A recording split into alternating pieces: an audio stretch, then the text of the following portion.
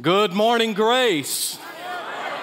Wonderful to be with you. What a honor, what a privilege to worship Jesus with you today. Now, is it going to look like this every Sunday? Oh, I hope so. Because Jesus is the same yesterday, today, and forever. So he deserves all of our praise. Thank you to Pastor Jason, Brother Jason, and all of this team. Are you not richly, richly blessed with the worship ministry here at Grace? It's tremendous. It's tremendous. Let me do a quick introduction, if I may, for the prettiest girl in the world, Miss Cindy. Sweetheart, will you let them see your gorgeous face, please? Right there. Miss Cindy. Yeah.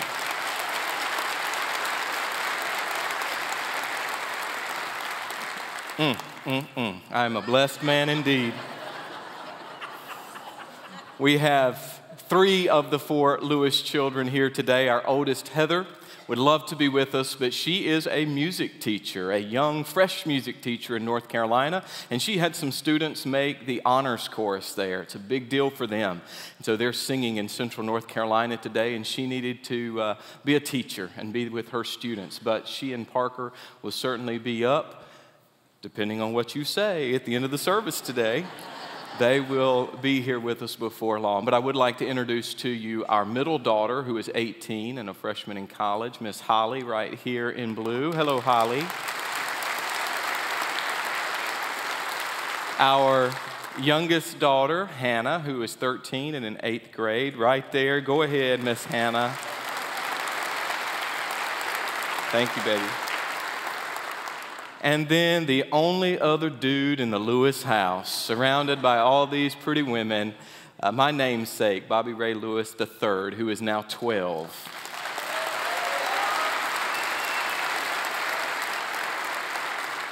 Very good. And if you haven't caught it yet, my name is Bobby, and I'm honored to be with you. But here's the deal that's all I'm going to say about me. Take your copy of God's Word, open it up, click it, swipe it, head over to that wonderful, exciting book, the book of Numbers. you probably didn't see that one coming, did you? The book of Numbers. It's going to be chapter 21, Numbers 21. I hope you've done your homework. You've had an opportunity to look into the Lewis family and to see who we are and what we're all about. We had a wonderful Q&A yesterday with a number of you. Thank you for being so kind, so gracious and asking such excellent substantive questions to us yesterday. And so today I believe you need to know how does this Lewis guy handle the word of God? What is he going to do with the scripture? Because I believe the primary role of the pastor is to be a man of the word and a man of prayer. And so, if that is what God has called me to do, we need to spend the bulk of our time in the Word of God looking at what the Lord would say to us. Before I read the text and set the context, I do want to give a hearty thank you to Dr. Tony Pointer and the pastor search team. They have worked hard and they have worked long. So, thank you to these men and women.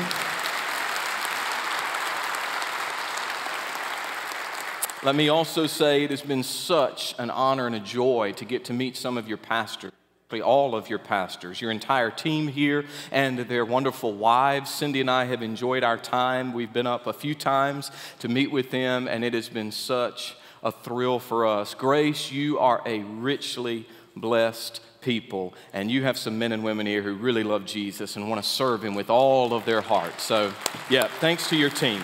Now, what's happening here in Numbers 21? Let me give you the context, if I may, before we jump in.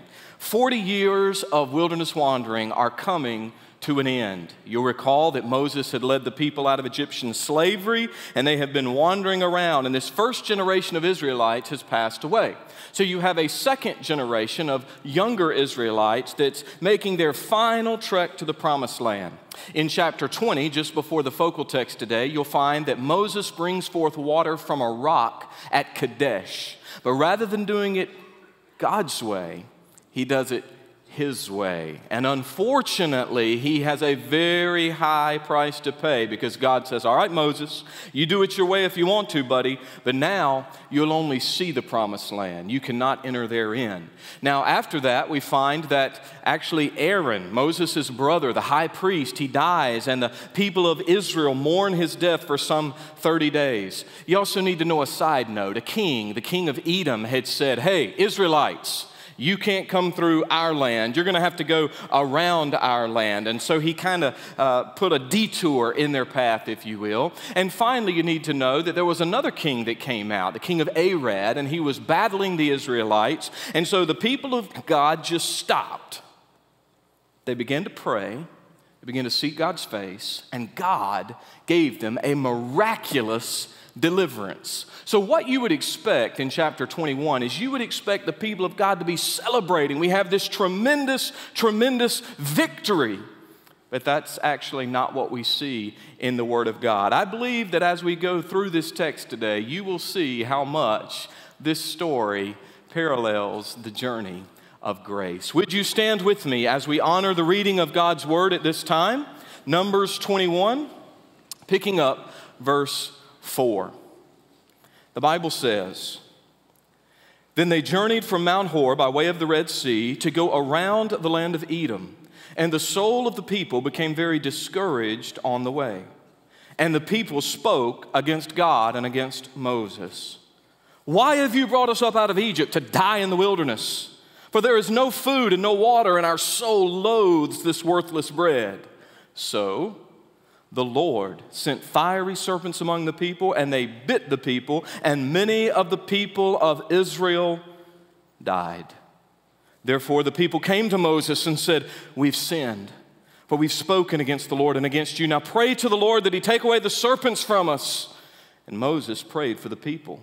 And then the Lord said to Moses, Make a fiery serpent set it on a pole or a standard, and it shall be that everyone who is bitten, when he looks at it, shall live. So Moses made a bronze serpent and put it on a pole, and so it was, if a serpent had bitten anyone, when he looked at the bronze serpent, he lived. Thus, the title of the message today Look and Live. Look and live. Would you pray with me, church? Father in heaven, this is a wonderful time, a holy day. But it's not any more special just because the Lewises are here. It is a special day because the Holy Spirit of the living God is in this place. He is at work.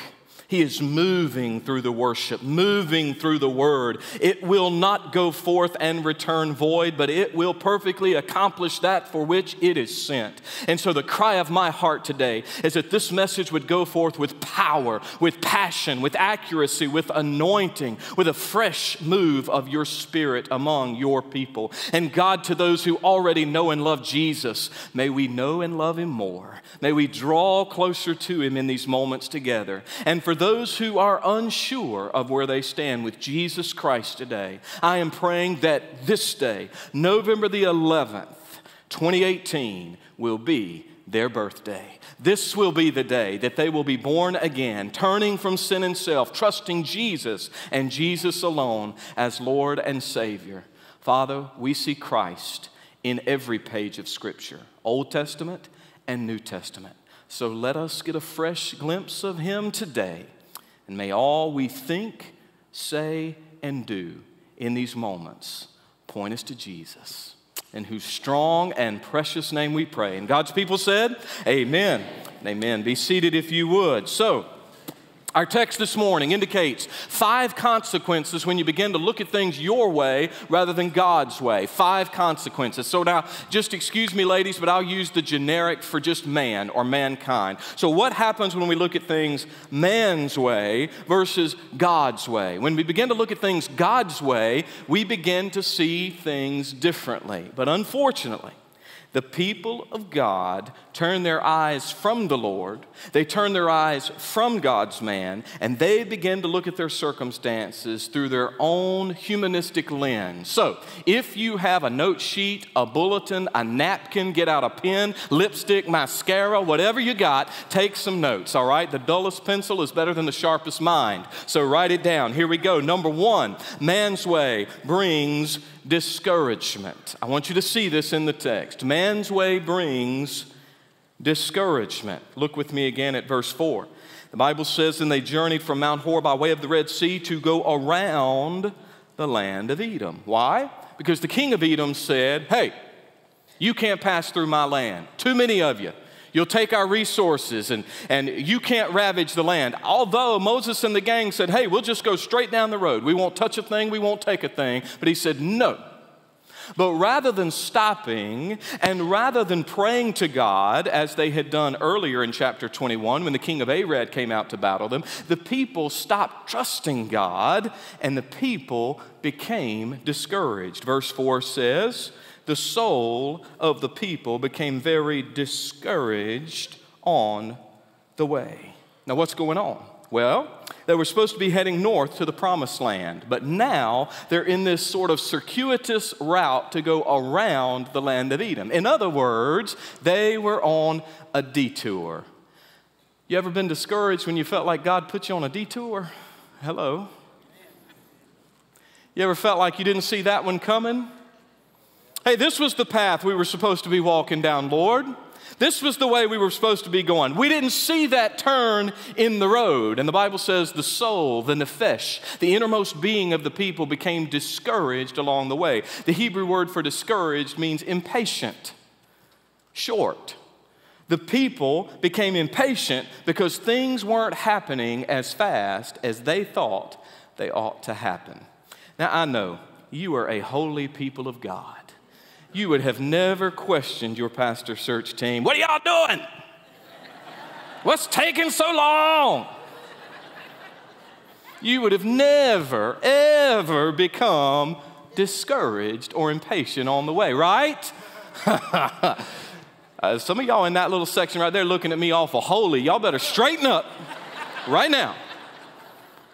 I'm going to call it like I see it. We all get a little discouraged when things aren't happening as quickly as we think they ought to happen. Let me give you a story about our oldest, if I may, since she's not here and cannot defend herself. Miss Heather, she was only about five years old at the time. We were in one of my favorite stores, one of those big box stores. I believe it was Sam's Club. And you know what they put right in the front of those stores? They put all the electronic gizmos and gadgets. Well, back in that day, those flat TVs were not nearly as prevalent and they were way too expensive. So I knew the Lewis family couldn't afford one. But when we walked in that day, I just wanted to kind of look at them and check them out, you know, something I could see but not touch. And so I'm standing there, and Heather, at about five, begins to tug on my pant leg. And she said, Hey, Daddy, Daddy, I'm ready to go.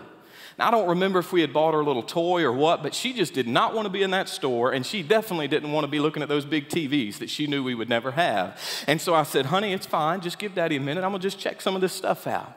Well, she gave me about three seconds. And then she said, Daddy, Daddy, come on, Daddy, I want to go. And I said, Okay, Heather, just calm down. And do your kids ever elongate their vowels when they really want something? Dad, Dad, I really want to go, Dad. And I said, Heather, come on. And finally, Cindy chimed in and said, Now, Heather, look, just give your daddy a minute. So, Heather, five years old, right at the front of Sam's Club, crossed her little arms, stomped her foot, looked up at Cindy, and said, Mama, do you know daddy is just like Pharaoh?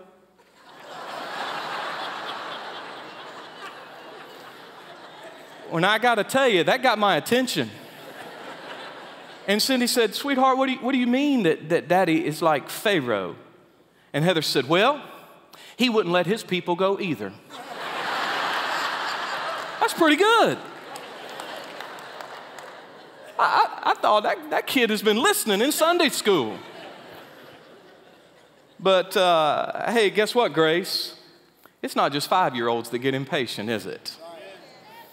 Sometimes you don't get your way and you start whining to your father too. Amen. Dad, why did this happen? Hey, friend, God is sovereign. This day does not surprise God. Your schedule over the last couple of years did not surprise God. He was not wringing his hands on the throne going, Oh no, whatever shall I do for Grace Baptist Church? God wasn't worried about it. I hope you've been trusting Him in the journey.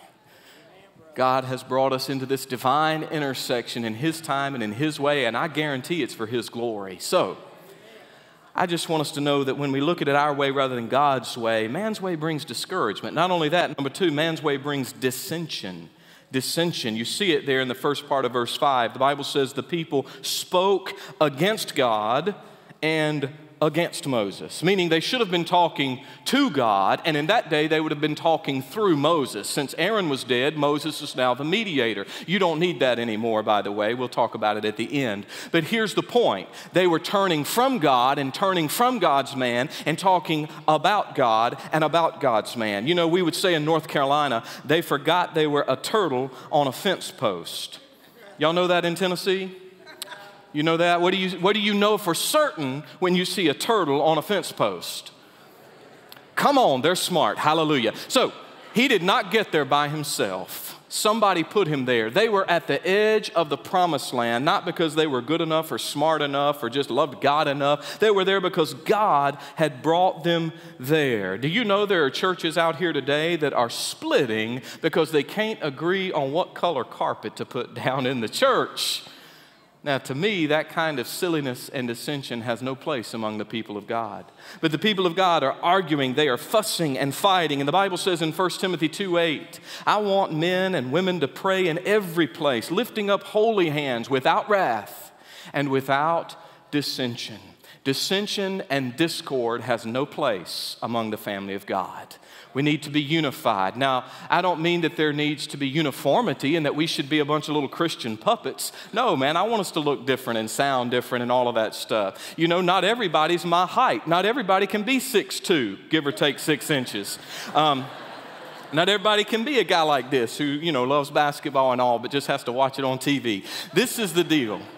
This is the deal. God wants unity, oneness among his people. And rather than speaking against God, let's speak with God, to God, speaking and listening. And, you know, sometimes folks are embarrassed to meet it, but maybe they harbor a little dissension in their heart against the Lord. Something didn't happen the way you thought it ought to, something didn't happen in the time you thought it ought to. So maybe you harbor a little bit of that tension. Can I encourage you today? Take advice from that song in Frozen and just let it go, please. Let it go. Trust God. Turn from sin and self. Man's way will always bring discouragement and dissension, but you'll see this too. Man's way brings depression. Man's way brings depression. You see it in this whiny statement right tucked into the middle of verse 5. Why have you brought us up out of Egypt to die in the wilderness? Now, if you have ever read anything at all about the children of Israel, you will hear that phrase. Their mamas and their daddies said it, they are saying it, and if things don't change, their youngins are going to say it. They just whine all the time. Now, what did God say? God said, I'm going to take you to a promised land, a good land, a, man, a, land flowing with milk and honey, a wonderful place where you're going to be able to spread out and enjoy, and I'm going to give it to you. But they are denying the promise of God and they are saying, Why, oh God? Why did you do this? Weren't there enough graves back there in Egypt for our folks? Why did you bring us here to die?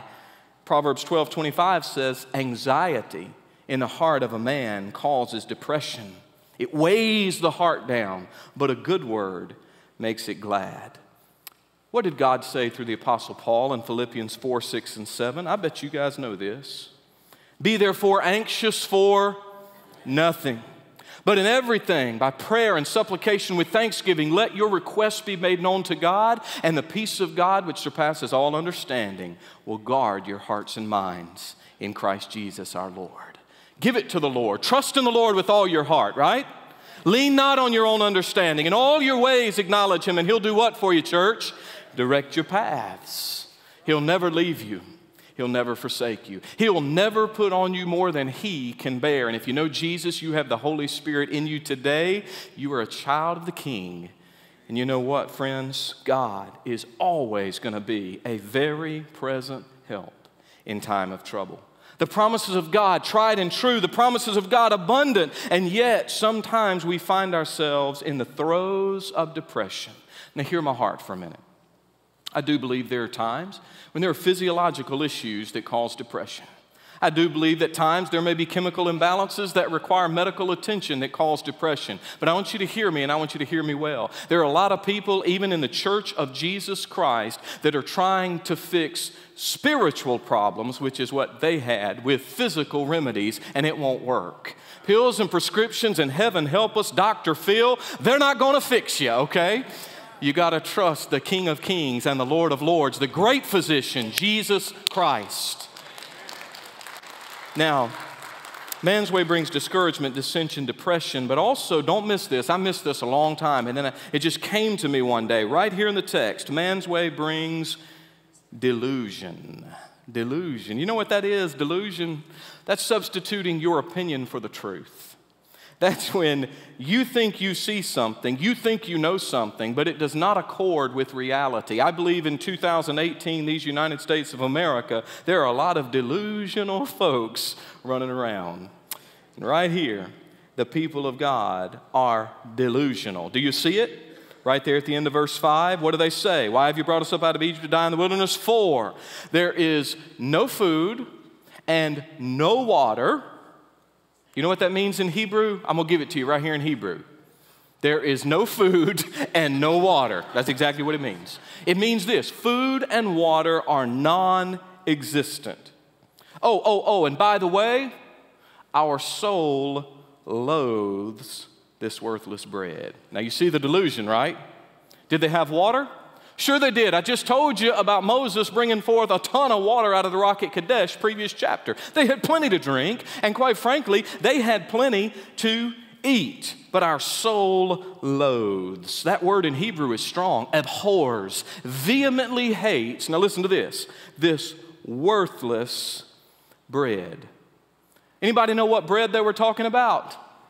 Manna fallen from heaven that has sustained the people of God 40 years, and they call it worthless. Let me tell you what that means. The core of that root word in Hebrew means this it's light bread, it's bread of no nutritional value. Are you kidding me? This bread has no nutritional value, and yet it sustained your folks and it has sustained you all these years. What have they done, church? Well, they have substituted their opinion for the truth. You know what it's like saying, I'm starving. I got to get something to eat. Oh Lord, I'm so hungry. Would you please give me a prime rib and a sweet tea? Oh Lord Jesus, please, I'm hungry. And God says, Yes, my child, here's bread and water. And you say, I don't want your stinking bread and water. And God says, Well, you weren't that hungry then, weren't you? You just weren't that hungry. See, the people of God are whining, and in their whining, they have become delusional. Now, I know I'm going to be treading on very, very thin ice. And I probably should have run this one by my sweetheart before I tell you, but I'm going to do it anyway. Sweet ladies, dear ladies, wonderful ladies. I have a lot of ladies in the Lewis home. It was me and four others for a long time. I finally broke down and got a little boy dog. I couldn't help it. I had to have something before we had Bobby. But you ladies, I've just never seen a fella do this. But you ladies, now, I, I, I got to admit, I've seen some delusional declarations coming from y'all. What do I mean? Well, with these girls here, I have seen at times, uh, you know, a trip to the closet and you begin to peruse all of these different things blouses and dresses and pants and shoes of all varieties and heights and purses and all of this stuff and you just look through this wide array. I mean, it looks like you're looking over a department store, but I've seen the expression on these beautiful female faces change. And they fold their arms and they get a scowl on their face and they look real harsh like this and they make a delusional declaration I have nothing to wear.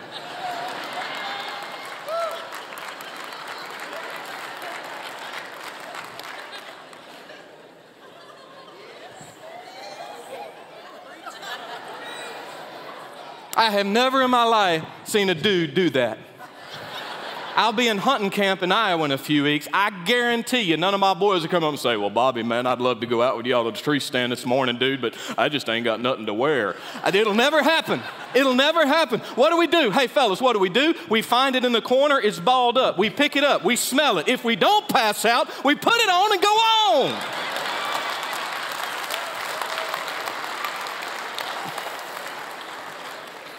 I love you. I'm sorry. I love you. You're the greatest. Taking our opinion and substituting it for the truth. Well,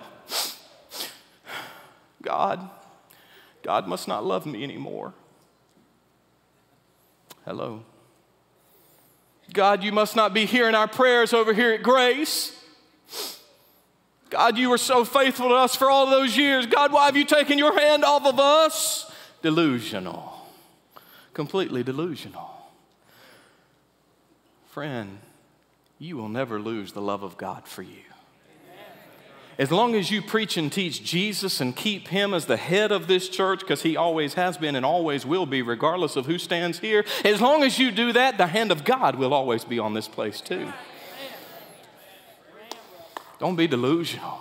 Don't substitute your opinion for the truth. Man's way brings discouragement, dissension, depression, delusion, but of course, far more tragic than all of that put together, man's way brings death.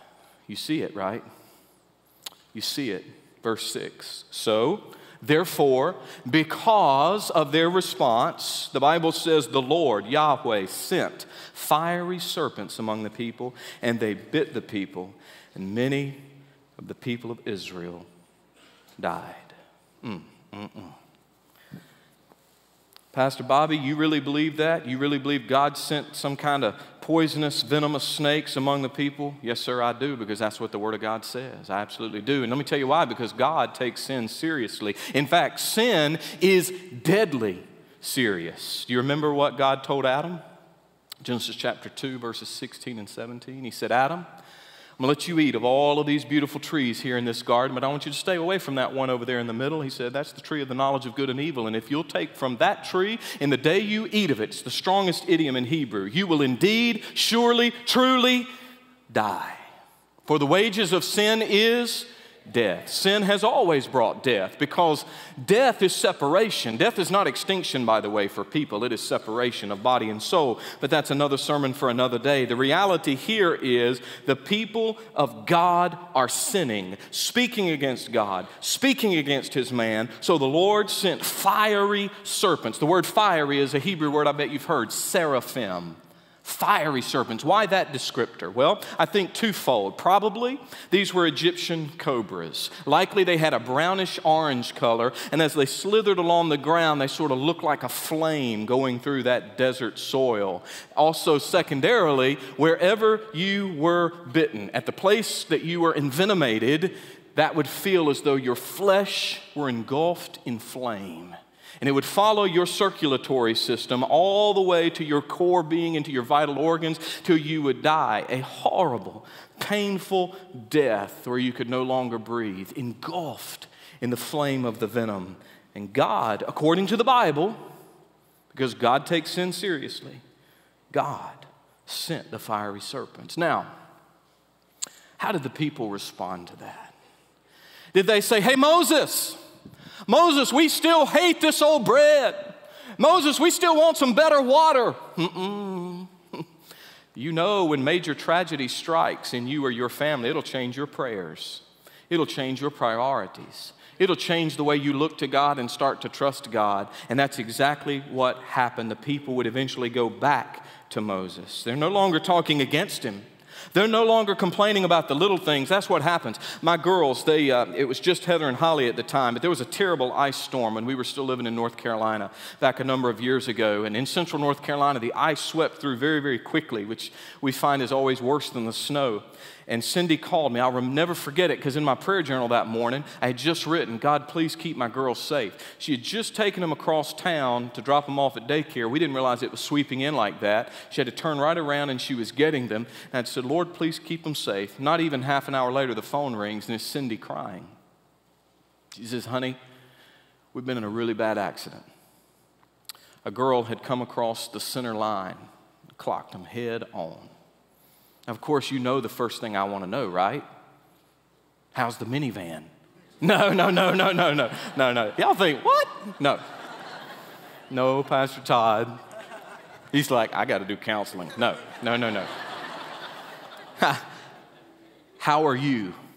How are the girls, right? That's all you care about. Do I care about the metal and rubber and plastic of that stinking minivan? Man, that does not matter. That stuff is replaceable. These are not replaceable to me. These are precious jewels to me. I'll do anything to protect them. You see, when, when tragedy strikes, your prayers change. what did old Peter do? You remember old Peter when he was outside the boat and he took his eyes off Jesus and began to sink? What did old Peter do? He didn't say, Oh, thou great God of heaven and earth, would thou come down and bless me and help me out? No, he said, Lord, save me. That's all he could say. Lord, save me. And the people here, they just need an anecdote for death. They're dying. Their children are dying. Their mamas and daddies are dying because man's way always brings death. It brings discouragement, dissension, depression, delusion, death. But I really didn't come to talk about that. Sometimes you don't know how good the good news is until you know how bad the bad news is. This is the case for us all when we try to go through life our way. But Grace Baptist Church, would you hear me and hear me well today? God's way, God's way brings deliverance. Deliverance, freedom, liberty, salvation. This is what I want you to see. This is what I want you to remember. The Bible says, therefore, the people came to Moses and said, We have sinned. You know, confession is good for you. They begin to confess. We begin to see the beginning of repentance here, just the front edge of repentance. They say, We have spoken against the Lord and against you, Moses. Now, please pray to the Lord for us, because again, Moses was acting at this time as a temporary mediator. Pray to the Lord that he take away the serpents from us. So, what does Moses do? Well, thankfully, church, the Bible says Moses prayed for the people. I don't know what I would have done. I'm going to be very honest with you. I would have had a hard time. These are the same people that are whining and complaining to him just a little while before. But instead of saying, oh no, oh no, no, no, no, no, I'm not going to pray for y'all. Y'all are talking smack about me. I'm not praying for y'all. Moses, with the mark of godly leadership, says, okay, I'll pray for you. I'll go to God on your behalf. I'll seek God's face. And of course, what does God tell him to do? The Lord said to Moses, make a fiery serpent. Man, that is a weird plan. I'm, I'm sorry, y'all, but that just strikes me really funny. The people say, Hey, Moses, can you ask God to take away all the snakes from us? Moses prays, and God says, All right, Moses, make one more. Take some bronze, fashion a snake, put it on a standard, on a big old pole in the midst of the camp. And what does the Bible say? Everyone who is bitten, what's it say, church? When he looks at it, shall live. Y'all see where the title comes from, right? Look and live. Very simple. Now, notice this time Moses does not do it his way and Moses does not argue with God. I've got to be honest with you. If I'm the guy that gets that instruction from the Lord, I'm going to probably say, Lord, can you repeat that? Um, did, did you just say, make another snake? Th- th- these people are dying over here. They're going to kill me. Do you notice God does not stutter? God does not change the plan. There is one way. If people want to live, they've got to take plan a. There is no plan B. All the people have to do is look. Now, listen, we know how they're looking. Clearly, they're looking by faith. Clearly, they're not looking by medical science or some kind of proven voodoo. Nobody's ever heard of anybody being bit by an Egyptian cobra and surviving by looking at a bronze snake up on a pole. Nobody's ever seen such a thing. And yet, God told Moses very clearly if they'll just look by faith, they will live. Maybe you've heard of the great prince of preachers, Charles Haddon Spurgeon. His testimony is that he was sitting in church and he heard this one verse from Isaiah 45 22. It's the Lord speaking. The Lord said this Look to me and be saved, all ye ends of the earth, for I am God and there is no other. And when Charles Haddon Spurgeon heard that, his testimony goes that he knew he had to look to the Lord. He had to look specifically to Jesus Christ and he would be saved. And he in his lifetime would lead many tens of thousands to trust Christ as Lord and Savior. Church, I want to remind you of something. We have all been envenomated by sin. We've all been born as sinners. What is that? What is sin? Define that for me, Bobby. Sure. Sin is anything you think, say, or do, or maybe even that which you don't do that displeases God. It can be via commission, action, or lack of action, omission, anything that displeases God. And the Bible says all, A L L, that means all. Every single one of us in this room has sinned. You say, well, how do you know that? Listen, I've had four kids. I never had, sorry guys, I never had to teach my kids how to tell a story, ever. I mean, true, they hung out with a lot of deacons' kids, and that'll corrupt anybody, right? But look, look, here's the thing. Sorry, guys, I love you. Here's the thing you don't teach your kids to be disobedient. You don't teach your kids to, to tell stories and all of that. They're just built that way because in Adam all die. In Adam all receive a sin nature. The only one that's ever walked this earth without that nature was not in Adam. He was a product of the Virgin Mary and the Holy Spirit, Jesus Christ, the perfect God man. Speaking of Jesus Christ. Did you know Jesus is all over this story? Mm, he is all over it. You say, no. Yeah. How many of you guys know by heart John 3:16? Can we say that? I bet you know it. Ready? I, will kind of go old school King James. Ready? For God so loved the world, he gave his only begotten Son, that whosoever believeth in him should not perish, but have everlasting life. Isn't that a beautiful verse? Man, what truth is that? But now look, I'm not going to ask you to raise your hand. I'm not one of those pastors that tries to embarrass or manipulate in any way. So just in your heart of hearts, now let's just be honest. They're not going to put it on the screen just yet. So I want you just to be honest. How many of you truly know? Now you know John 3:16. That was good. That was beautiful. You see it at the ball game. Go Vols. Y'all crushed it yesterday. Congratulations. Anyway, anyway. Kentucky fans are like, oh man, I can't believe he went there. Sorry, Bobby. Sorry, man. I heard. Uh, no worries. Look, here's the deal. How many of you truly, honestly, be honest, really know John 3, 14 and 15. Mm. Mm-hmm. Some of you little heathens are like, I have no idea. I know you want to look it up real quick. You want to look it up so bad. Oh, what is it? What does it say? You know it's Jesus talking to Nicodemus, right? Nicodemus goes to him by night. He would become a secret Christ follower. No such thing in 2018, by the way, but he would become a secret Christ follower. And just before Jesus Christ would utter that most famous of verses, Jesus was right here in Numbers 21. Look at it with me, would you? It says this, and it's going to come up right now. There it is. Look at this, look at this. John 3 14, 15. And as Moses lifted up the serpent in the wilderness, even must the Son of Man be lifted up that whoever believes in him should not perish, but have eternal life. For God so loved the world. Y'all see that?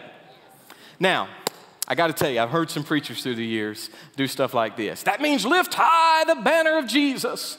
Praise God, we preach Christ and Him crucified. And that's wonderful and that's true, but that's not what Jesus meant. When Jesus was saying this to Nicodemus, you know what he was saying? He said, Hey, Nick, let me tell you what's about to happen. You see, the people disobeyed God, so God judged them because sin always brings death. And God had one plan through their leader named Moses, and that one plan was look at the serpent on the stick and live. He says, But I, the Son of Man, I too must be lifted up, not on a wooden stick, but on an old rugged cross. And it'll be that any man, and any woman, and any boy and any girl that would just look to me with the eyes of faith. If they will look, guess what, church? Mm, somebody's been listening. Thank you. They will live. You see, the formula is no different. What I'm asking you to do today is look to Jesus Christ alone and find life. Eternal, life abundant. Yeah. The bronze serpent was absolutely the one and only way that people could be saved in the wilderness. There is no plan B. You say, well, it doesn't really make sense. It's not up to you to figure out, it's up to you to obey, okay? It's not up to me to figure out the mind of God. It's up to me to obey the Word of God. Salvation is found in no one else, for there is no other name under heaven given among men whereby we must be saved. Jesus was very clear. What did he say, church? I am the way and the truth and the life. And no man, no woman, no boy, no girl comes to the Father but by me. One way. Now, you might think it's going to the right church, giving the right amount of money, being a good enough, smart enough, wealthy enough, good looking enough person. But let me tell you right now, it's not enough.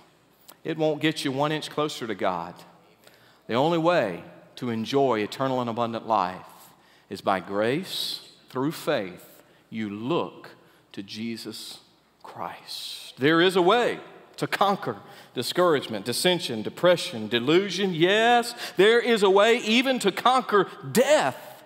Take God's deliverance. Look and live. Now, I'm going to close with an illustration.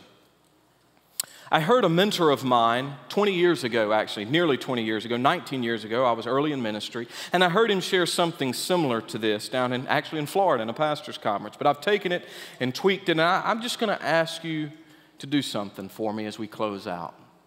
I want you to use your imagination, okay? I want you just to kind of use your mind here, and I want you to see something. I want you to see, let's just say, I don't know, 14, 15 year old girl. I want you to see her first, all right? And I want you to see her running. I want you to see her tearing through the desert seemingly oblivious, by the way, to all the snakes that are around her, and she's kind of weaving in and out of tents. I want you to see it. I want you to see her crying, the dust kicking up around those tears, leaving the tracks on her face. I want you to see her running over to maybe, let's say, her family's tent, and there is a gentleman older than her, and clearly he's been bitten. Clearly he's in agony. And I want you to hear her say, Daddy, it's going to be all right, Dad. Dad, uh, Moses has prayed to God for us, Dad, and, and, and, he's made this snake and he's put it up on this big pole, Dad. And if you just turn over here and, and if you just glance that way, Dad, it's going to be fine. God has told Moses that you will live. And a daddy looked up at his daughter and he said, Sweetheart, that's the silliest thing I've ever heard in my life. Your daddy's fought everything there is to fight out here in this wilderness.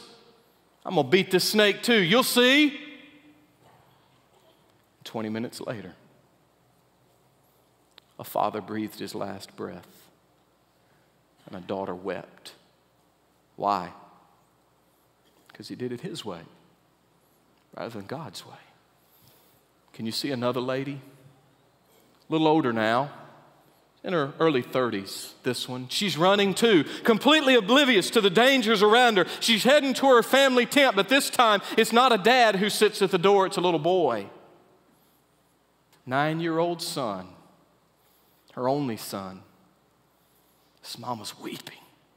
Oh, baby, baby, Moses has prayed for us and God's made a way, baby. Mama, it hurts so bad. Mama, my arm is on fire. Mama, please.